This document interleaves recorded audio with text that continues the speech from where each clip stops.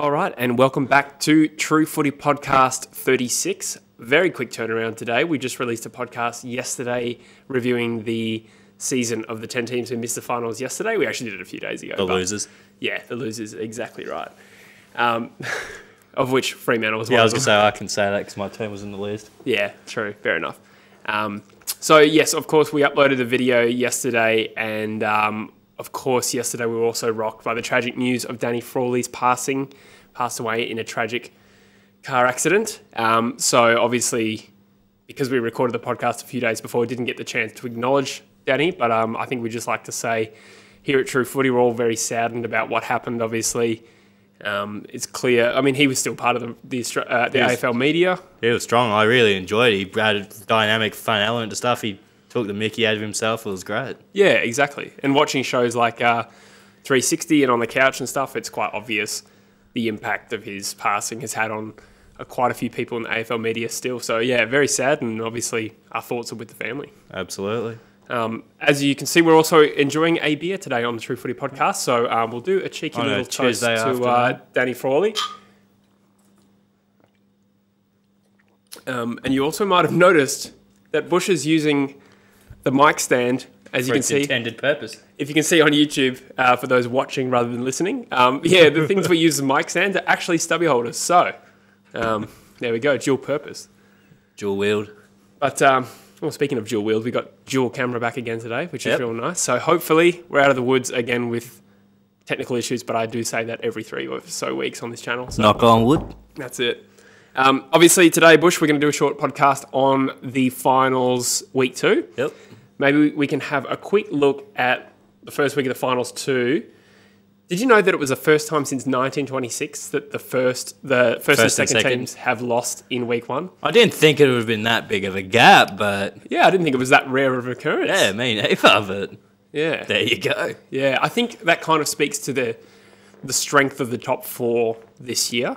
Yeah. The fact that a team like West Coast finished fifth and were, yeah, fair enough to be fifth shows how strong the top four four were in my opinion this year, and how even obviously it was. I think one game separated first from fifth. So Especially for the two away teams to win, even though Collingwood yeah, was home. Let's, let's just call it how it is. It was pretty much a home game for Collingwood. true. And obviously Richmond winning. Um, they they were they were kind of rocked by injury in the first half of the year, so they were unlucky not to finish higher, in my Yeah. opinion. So or Brisbane were unlucky to to come up against them in the first week of the finals. But we're just going to have a quick look at the first week of the games, um, starting chronologically with West Coast and Essendon. What were your musings from this game, Busher? What were your takeaways from West Coast and Essendon generally?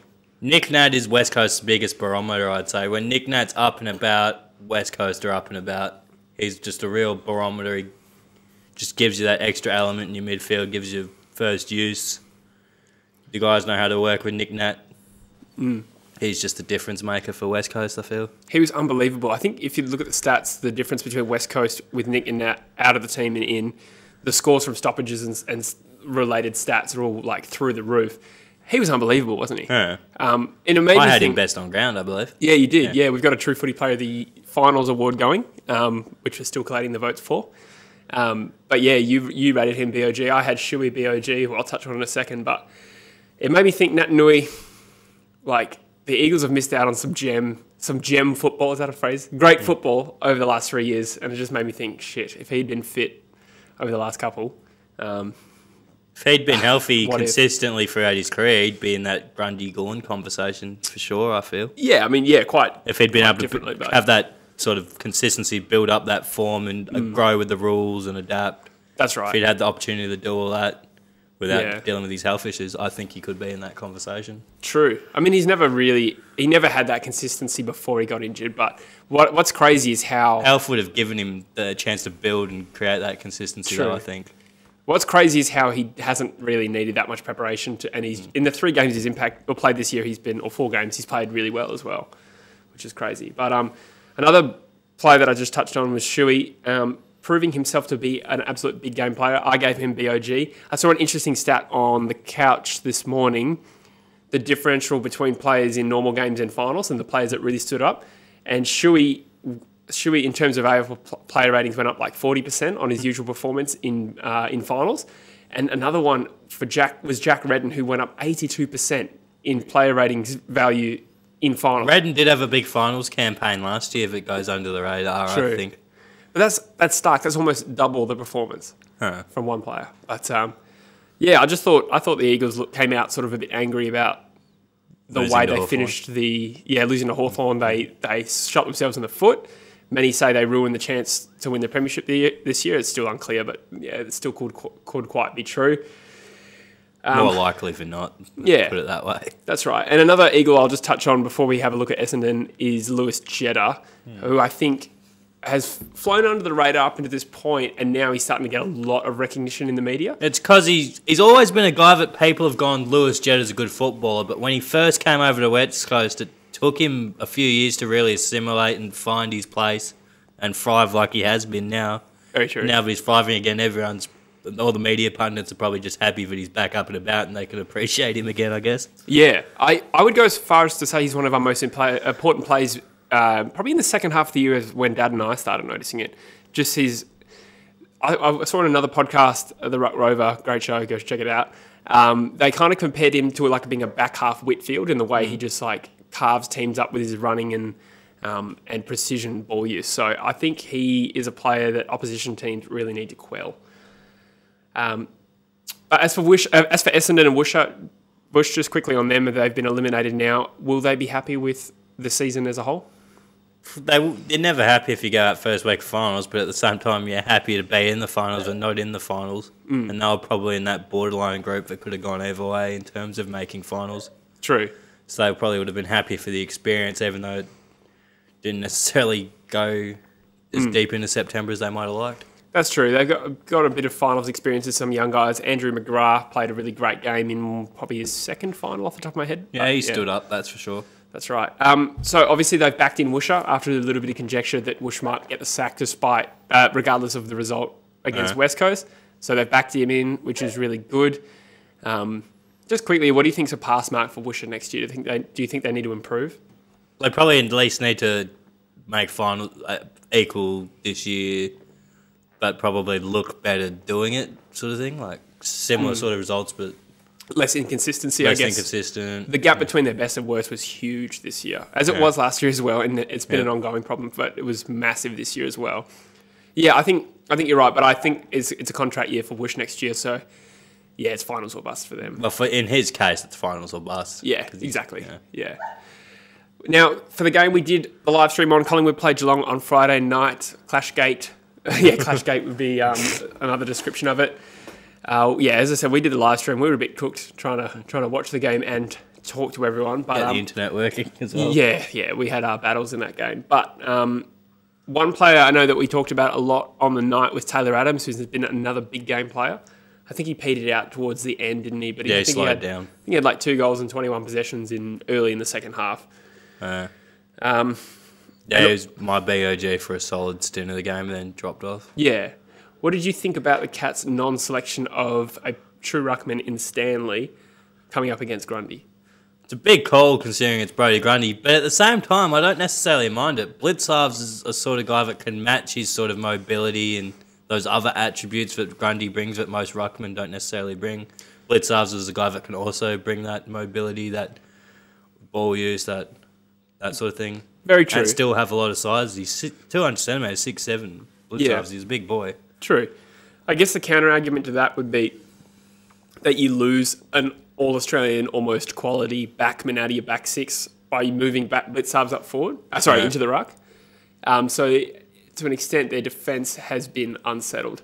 Um, but speaking of defence, Collingwood have been brilliant this year. I uh, I took a photo of it. My phone's over there, so I can't go get it. But I think in the last five games, they haven't conceded any more than sixty-five points. Any Right. any in any of their games, Collingwood, um, and I think a lower forty-eight. So that's a real good um, sign for a Fremantle fan who's looking to Justin Longmuir. Justin Long- I was Longmuir, thinking the yeah. same thing. Justin Longmuir obviously oversees the Collingwood backline, so um, they're looking real good. The Cats were really jittery. I thought, you know, there was a lot of mistakes that cost them the game against the Pies. I did tip Collingwood, and obviously the Pie, uh, sorry, the Geelong fought back. But I think if they hadn't blown so many opportunities when the momentum was going against them, they uh, they probably let one go a little bit. And um, on the Collingwood side of things, we also saw them injury struck yet again. Levi Greenwood out with an ACL. Yep. And he's- go with the hammy. Did you see De Goey's been flown to Munich as a um, desperate attempt to get him right? Really? Yeah, yeah. So he's um he's visiting Bayern Munich's physio, I believe. They're flying him.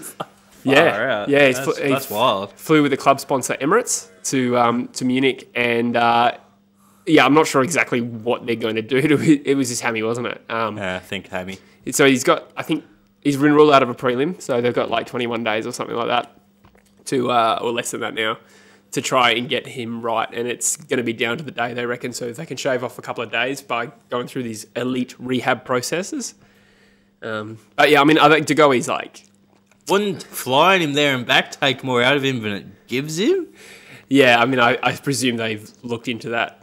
Um, He'd be you, flying you could argue that because like- that would be fine business for sure, and uh, and it's a long flight. I mean, you got to fly to Dubai first, and then another six or seven probably Yeah. to Germany, off the top of my head. So Yeah, especially from Melbourne. I was gonna say he couldn't do the direct to London, then a shorty. yeah, that's right. Um, but yeah, anyway, I, I was just to finish on Collingwood. I would say that he's a big player. They need to get back in because it's like it's hard to see them potentially beating Richmond in the grand final with De Goey not in the side. He just adds so much. He is handy. He's such a big game player, as we saw in last year's grand final. yeah, they'll miss him. What do you think about the Giants and the Bulldogs on Saturday? Giants came out firing. I didn't. I thought that'd be a close, competitive, gritty contest. I didn't see them getting demolished. Bulldogs getting demolished by Giants like that. That's true. I uh, I agree. I think.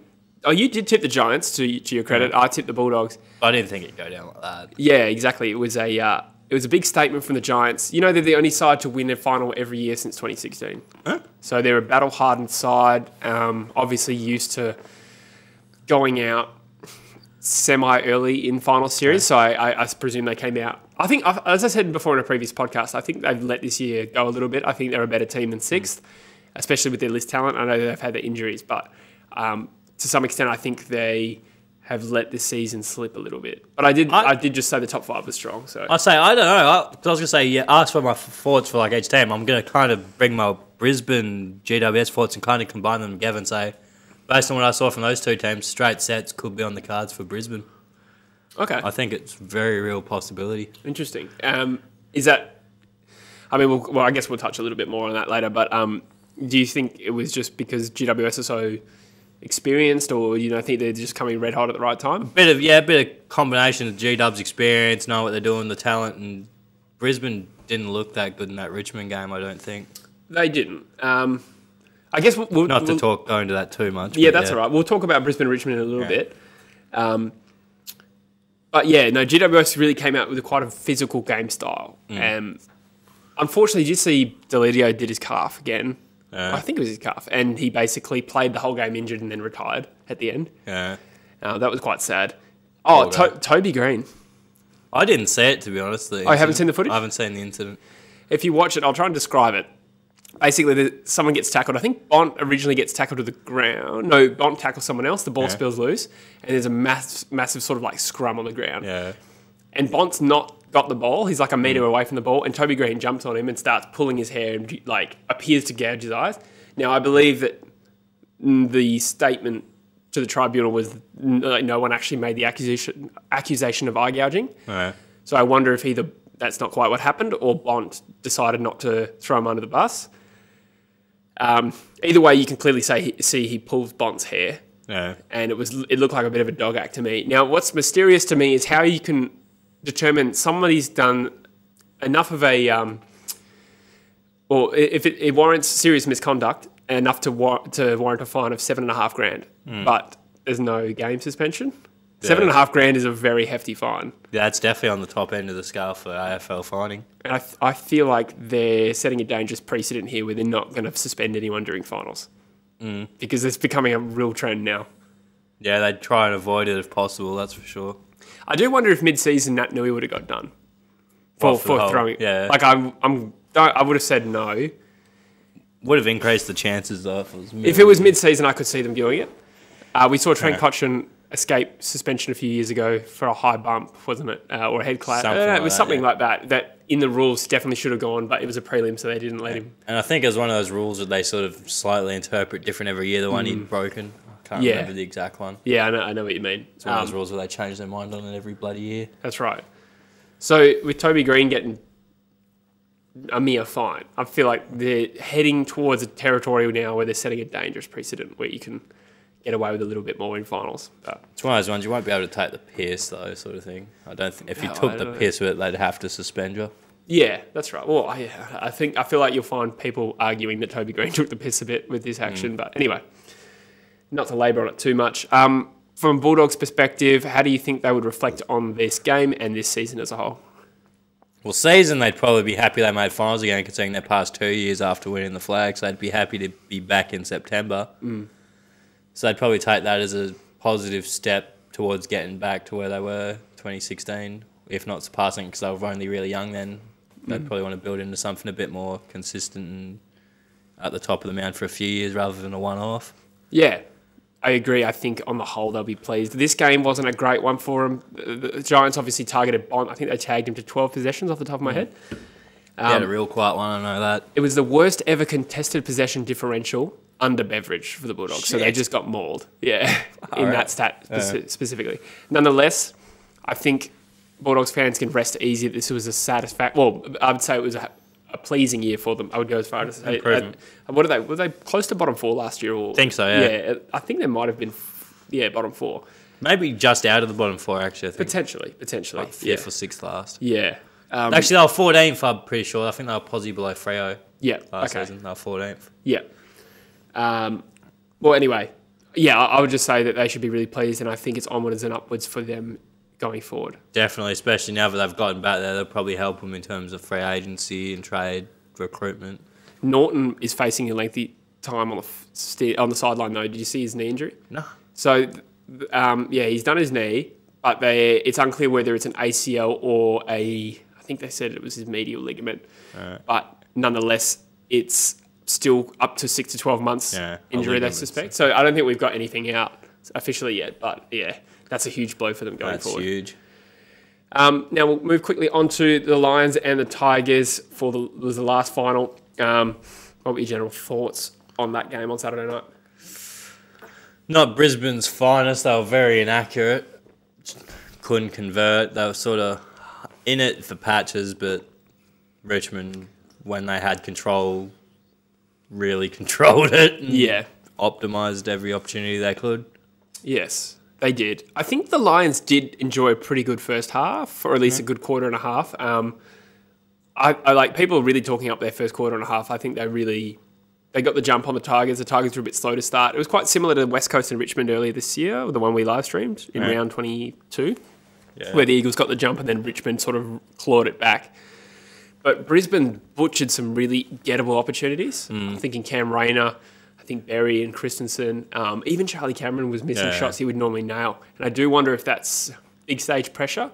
Cameron's played in the grand final. Yeah. Yes, he has. Um, so I don't know what it was, but I, yeah, I do wonder. I do think Richmond would have won either way, but I do wonder if Brisbane had nailed some of those early chances. It would They have been would a have bit been of a able to hold their ground a bit better. yeah, and instead they got mauled. Really, um, shame to see Mitch Robinson did a hammy as well. Yeah. I'm ho- I don't think he'll play this week, but I'm hoping we don't see. I mean, we see more of him this year because I watched his podcast. He's been really passionate about the Lions' journey this year. It's been really interesting, and I was a bit gutted when I saw him go down. Yeah, I've been. I've always been a big Mitch Robinson guy for years. When people shitting on him saying, "Yeah, this guy's a bloody idiot," uh, I was like, Yeah. no, he goes out there, does his bloody job, he goes hard." He's he seems like a cool dude. Actually, Yeah. I always thought he was a I- bit of I've a always liked the cut of his jib. Yeah, no, I think he's got a good personality. He's um he's a bit rough around the edges, but he's he's likable. Do you watch Ah. his show? I haven't had a chance to really catch too much of it yet. Should check it out. It's actually quality. Yeah.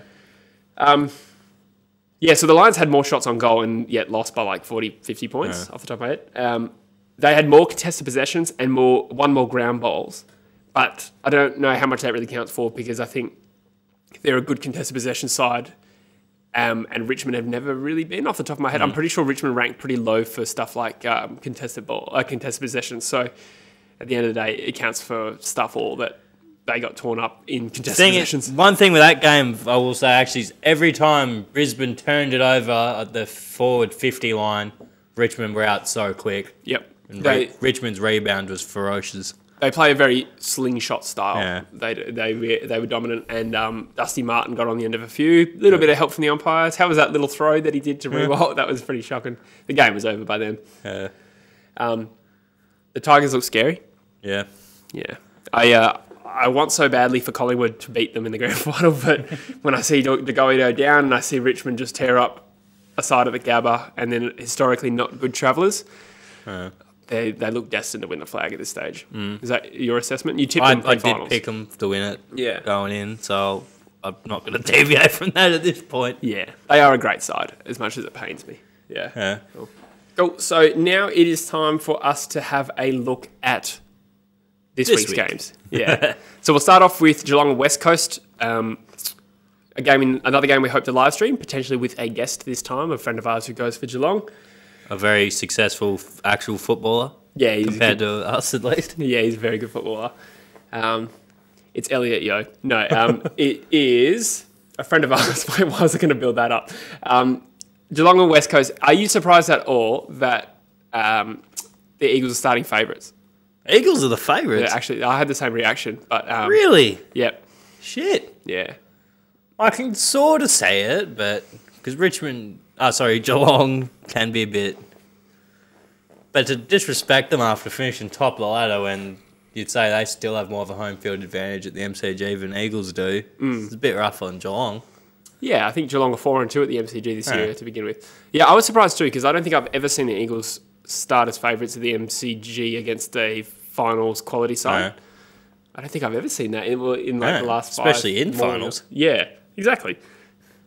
Do you think? Well, I know you kind of already answered this, but do you think the media and AFL community have jumped off Geelong a bit too quickly? Possible. Like, don't get me wrong, it's a very winnable game for the Eagles, but at the same time, mm. Geelong's top of the ladder for a reason. They've got a lot of great players, especially if they go a more traditional ruck setup and move Blicavs back, as we alluded to earlier. Mm. Few adjustments, they're right in it, I feel. I agree. I the Eagles are pretty strong at the MCG too. That's the other thing. So it's almost it's almost a neutral ground. Mm. And so it really comes down to who's going to be better on the day. G- GMHBA is quite different dimensionally to to the MCG, whereas the Eagles play at Optus, which is very similar. Whether that's actually going to play into the Eagles' hands, it's unclear. Head to head, the last time they played, they did play at GMH, GMHBA, and the, the Cats annihilated West Coast. Yeah. So I think as, a as a fan, I've still got that kind of scarred into me, that, that memory of them butchering us up. But I do think we are a bit of a different team now than we were. Um, So at least you're in Melbourne for the rest of your run with the Richmond Brizzy result. yeah, that's right. That's right. Um, Mitch Duncan, an important out for the Cats. I haven't actually read whether he's definitely out, but he had a knee brace on after the game. Yeah, he didn't look good. I'd be surprised after a seven day break, he'd be back in the side, which is a blow for the Cats. He's been one of their most. Well, it's hard to say whether they're mo- one of the most important because you could rattle off a bunch of stars this year. who There's, played they've got a lot of names you could put in that category, that's yeah, for sure. Yeah, so, but I mean, I think he's had a career best year as that kind of high half forward um, goal kicking option. Yeah. And yeah, to, to lose him is a bit of a blow, especially against an Eagles backline that is pretty strong.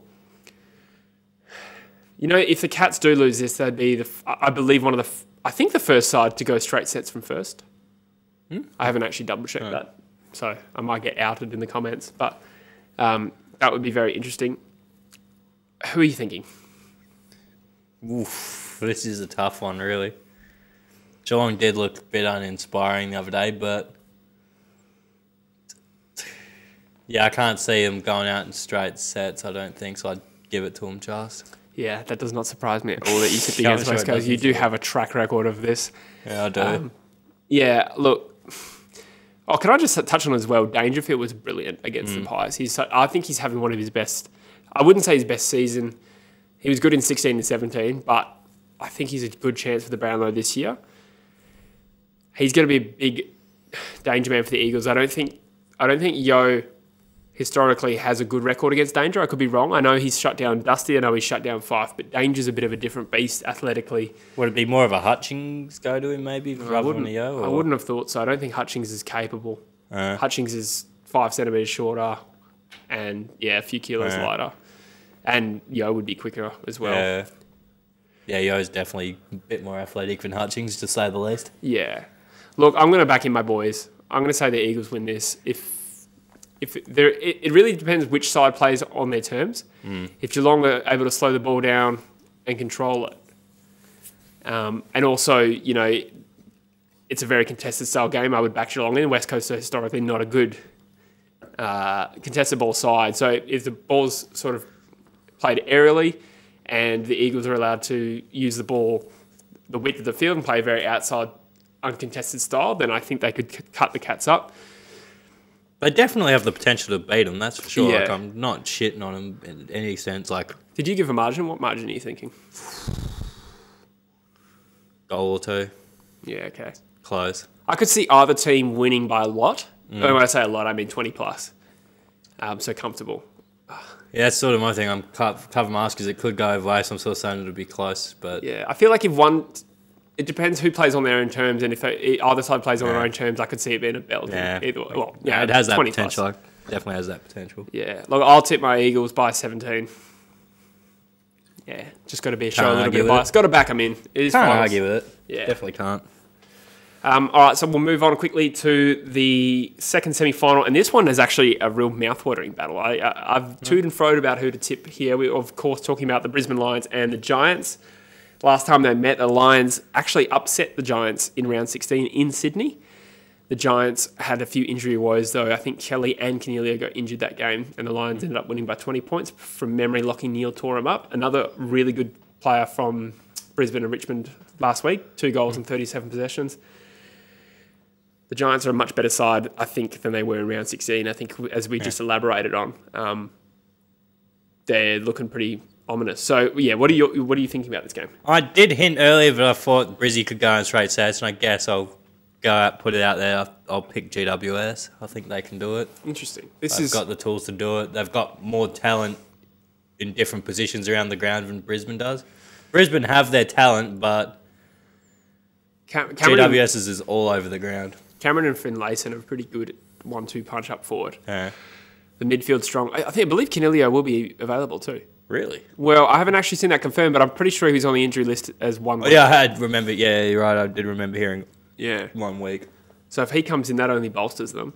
As I said before, they're the only team to win a final every year since 16, so they are battle hardened, coming up against the least finals experience side, maybe.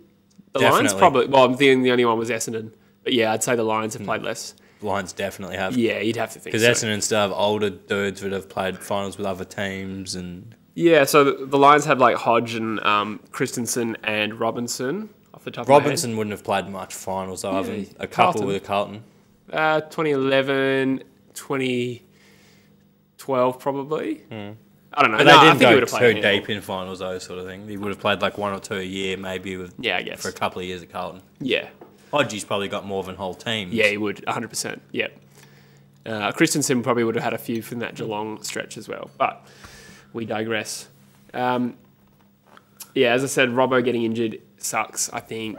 Uh, I don't know whether that's actually going to affect the team as much as it just is I, a bit of a I think it does because he's just a guy that tackles and he always he's not afraid to just chuck it on the boot and gain meters. Oh, yeah, I think he's a good quality player. I think he was in the frame. Did he make the All Australian 40? I'm not sure to be honest. I can't remember either. He was certainly in the frame for it. Uh, Uh, and I think he was rated the second most courageous player in the league this year. So after yeah, he's definitely in the courageous conversation. Definitely. Yeah, for sure. Almost borderline crazy. um, who do you think's better on paper between these two teams? GWS Yeah? on talent, Yeah, okay. they're a lot better. Yeah, okay. I, I guess you could argue that. On proven form this year, the Lions have been better, though. Yeah, Yeah. I think, I think, was that Zorko's first final? I think it was, hey? probably. Yeah. Yeah. So I, I don't think he played very well. I don't think he handled the, the pressure. It was almost like he tried to do a little bit too much. Uh, But uh, McCluggage didn't look too bad from what I saw Yeah. of him. that's true. Yeah. Yeah. No, there's definitely a lot of young talent at the Lions. So, yeah, so you think the Giants by how much? I'll say three goals, 18-20. That'd be a huge result. I think um, I'm trying to avoid the recency bias. GWS played really well last week, and the Lions played really shit. They come together at the Lions at the Lions home ground. It's tempting to just go, oh, with the form line, the Giants are going to win. I am going to go with the Lions. I think the Lions are going to win by eight points. Tipping Yeah. it- I'm ticking this. If Lions win, it's by the skin of their teeth. Yeah, but it's definitely possible. That's right. So you're tipping the Cats and the Giants, and I'm tipping the Eagles and the Lions. So Um, Another finals related podcast where we've pretty much gone entirely differently. yeah, that's true. We've only there's out of six finals, we've only agreed on one tip so far, and that was West Coast Essendon. Yeah. Interesting. We're spreading our catering to the audience. Yeah, amongst other things. Um, anyway, just to finish up as well, um, they're talking about immortalising Danny Frawley's um, award on his show, The Golden Fist, Yeah. and they're thinking about awarding it at the Brownlow Medal night f- going forward. What's the are they I think best defender. best defender? Okay, Who do you think would get it if they awarded it this? best defender this year. Ooh, So the All Australians back Yeah, three. that's what I was just trying to- um, I guess it doesn't have to be a key defender now. I think about it. Hmm. You could you could argue um, so McGovern, Grimes, Andrews, Blicavs would be the four key backs. Darcy Moore probably a shout. Um, Shannon Hurn comes to mind as an actual yeah, Hurn was one of the guys I was contemplating there. Bachar Houli, not really his sort of style. I would probably go with Grimes. Grimes was a four for me. I didn't. I'd Hurn even. I'd probably Yeah, close to give him a shout. sure. Yeah, interesting. McGov, even though he's had a down year compared to his usualness, he's still McGov. Yeah, I, I would. I'd be inclined to say between Grimes and McGovern personally. Yeah. Yeah. Interesting. Yeah. Cool. All right. Well, I think we'll finish up. That was a pretty short podcast today by our usual standards. I'm really looking forward to this week of footy. I think if the Eagles win this week, I will start to get excited. I haven't You'll let stop myself. wearing black. You'll be no longer in a state of mourning. Yeah. I, I nearly wore my Eagles scarf today, but I, I forgot it. And you it's really quite, hot. You're not quite proud enough of them to wear it until until they win on the weekend. I'm very proud of my boys. I'm very proud of my boys. Oh, that is recording, thank God. I just had a moment of panic where I looked at the second camera and it wasn't recording. At least it's on you. Yeah. Yeah, cool. The people are used to not saying, mate. That's right. Yeah, that's true. Um, channel's never been better. No. All right, guys. Yeah, thank you so much for listening to True Footy Podcast. Um, if you follow us on YouTube or subscribe to us on YouTube, rather, we will be back for a live stream for Geelong and West Coast this Friday night. So make sure you join in. And this time, we will do better with the internet connection. Yep. We have no control over that. That is a false promise. Thanks very much. See you next time. Anything.